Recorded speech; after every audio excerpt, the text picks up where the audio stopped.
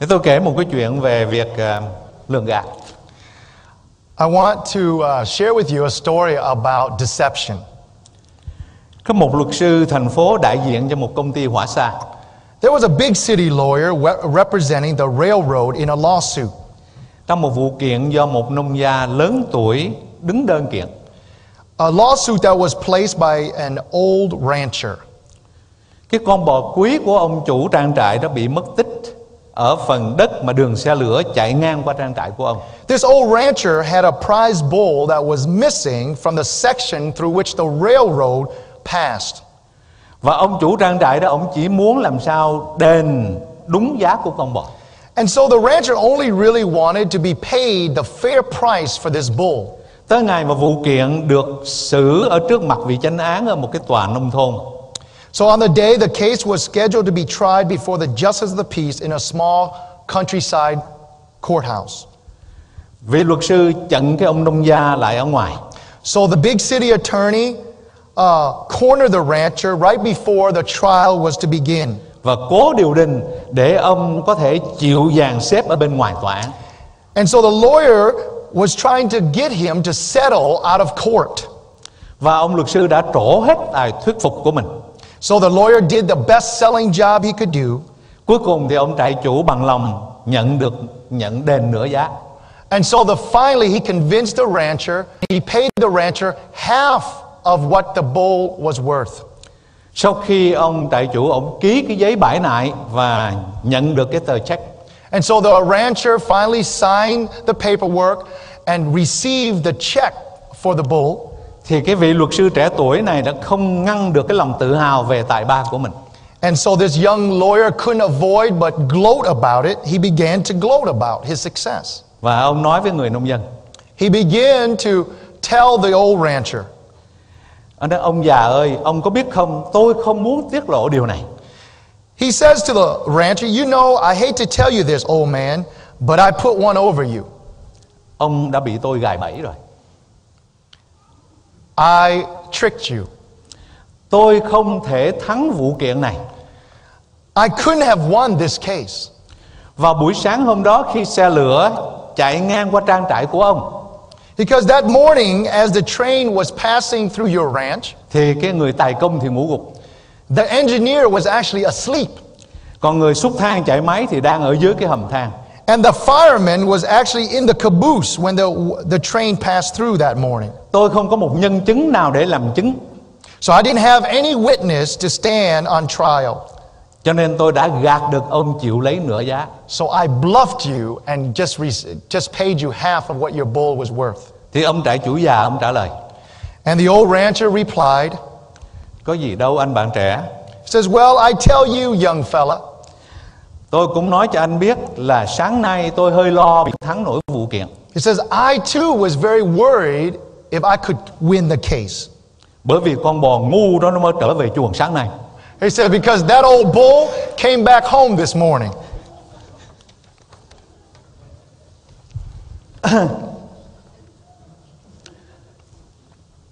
Trong chúng ta có nhiều người không biết cái điều gì là tội lỗi.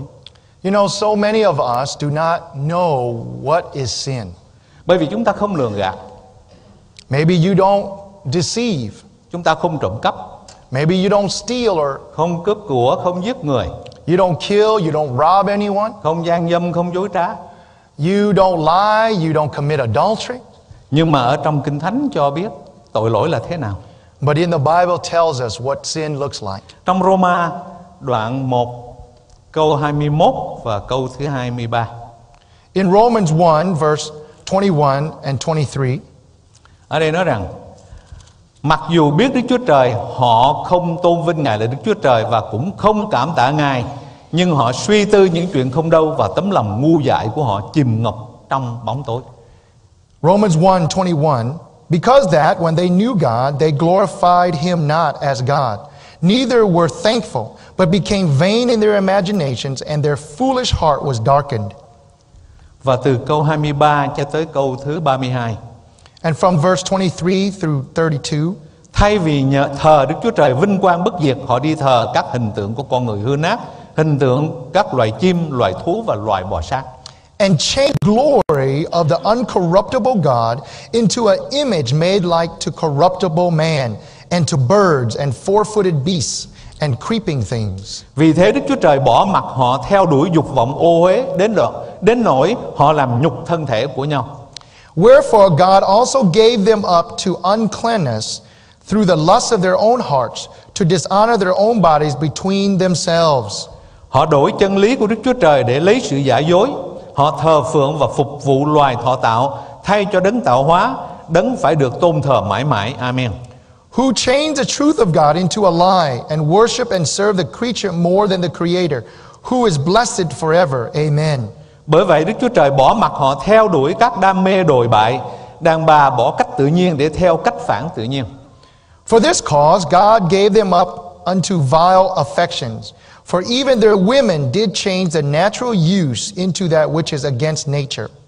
Đàn ông cũng vậy bỏ cách tự nhiên của đàn ông với đàn bà mà nung đốt tình dục giữa đàn ông với nhau, làm những điều nhơ nhuốc, chuốc vào thân mình sự phạt xứng đáng với sự lầm lạc của mình.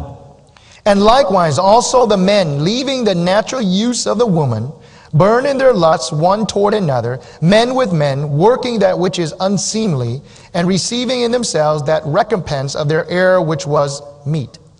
Và vì họ cho là không cần nhận biết Đức Chúa Trời nên Ngài bỏ mặc cho tâm trí họ sa đọa để làm những điều không chính đáng. And even as they did not like to retain God in their knowledge, God gave them over to a reprobate mind to do those things which are convenient. Lòng họ đầy sự bất chính, gian ác, tham lam, hung dữ, ganh ghét, giết người, tranh chấp, lừa dối, hiểm độc, ngồi lê đôi mắt. Being filled with all unrighteousness, fornication, wickedness, covetousness, maliciousness, full of envy, murder, debate, deceit, malignity, whisperers. Vu khống, ghét Đức Chúa Trời, sức láo, kiêu ngạo, khoác lác, nghĩ ra cách làm ác, không vâng phục cha mẹ. backbiters, haters of God, despiteful, proud, boasters, inventors of evil things, disobedient to parents, Không có lương tri, thất tín, không tình nghĩa, không thương xót. without understanding, covenant breakers, without natural affection, implacable, unmerciful, Dù biết rõ theo luật của Đức Chúa Trời ai làm các điều đó đều đáng chết, thế mà không những họ chính họ làm lại còn tán đồng những ai làm các điều ấy. who, knowing the judgment of God, that they which commit such things are worthy of death, not only do the same, but have pleasure in them that do them. Trong Kinh Thánh đầy những chỗ mà kê khai những tội lỗi của chúng ta mà thường thường chúng ta không biết đó là tội. You know, in the Bible, there is full of, uh, there are many places that tells about sin, but yet many of us do these things and don't think they're sin. Ví dụ như ở trong thơ Corinto thứ nhất đoạn 6 từ câu 9 và câu 10. In like 1 Corinthians chapter 6, Nine. or uh, chapter 9, Six, six, yeah, six.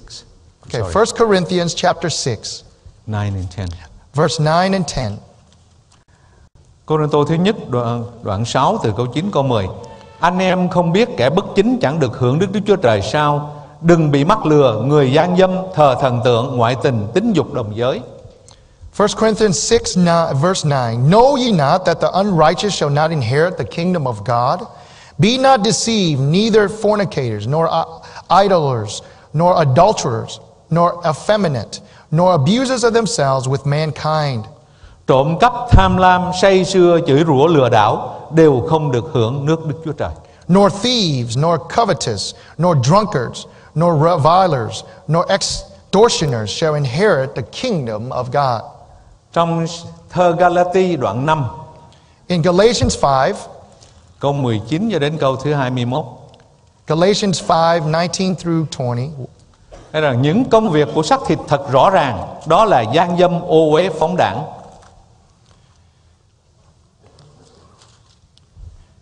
Now the works of the flesh are manifest, which are these adultery, fornication, uncleanness, lasciviousness, Thờ thần tượng, phù phép, hận thù, tranh chấp, ghen ghét, giận dữ, ích kỷ, bất đồng, bè phái.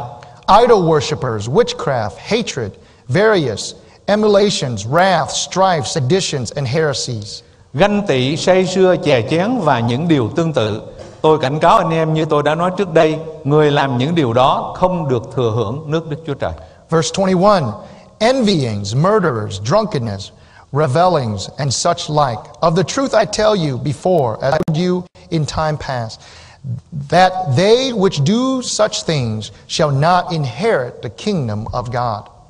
Đồng thời ở trong Khải Huyền đoạn thứ 21 câu 8 Revelation chapter 21 and verse 8 nói rằng còn những kẻ hèn nhát bỏ đức tin đáng kinh tởm sát nhân gian dâm tà thuật thờ thần tượng và tất cả những người nói dối phần của họ là ở trong hồ lửa đốt bằng diêm sinh đó là sự chết thứ hai Revelation 21, verse 8.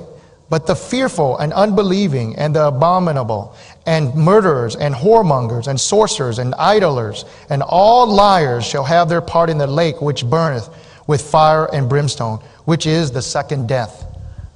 những điều mà chúng ta vừa đọc ở trong kinh thánh chỉ là những tội lỗi tiêu biểu cho tánh xấu của con người Represent. All those uh, things that we just read in the Bible represents all of the sins that mankind commits. còn có nhiều điều giống như vậy mà chúng ta không muốn người khác biết And there are th- many things like that, but yet we don't want people to know about it. Và những việc đó là những tội lỗi khó nhận ra Because those things are hard to examine or see. Cho nên rằng Kinh Thánh dạy rằng nếu chúng ta thật lòng tin Chúa và chịu đồng chết rồi sống lại với Ngài And so, if we really want the truth, then we must receive Christ, and if we die with Him, then we would live with Him. thì chúng ta không thể tiếp tục sống trong tội lỗi. And so, we cannot continue in our sin. Trong ờ, trên màn ảnh cũng như là trong tờ chương trình của quý vị đó thì có ghi Roma đoạn 6 câu 1 câu 2. In Ro- you can see on your screen, and we're going to look at Romans 6 1 and 2. Nói rằng đối với tội lỗi chúng ta là người đã chết làm sao còn sống trong tội lỗi được nữa. What shall we say then? Shall we continue in sin that grace may abound? God forbid, how shall we, that we are dead to sin, live any longer therein?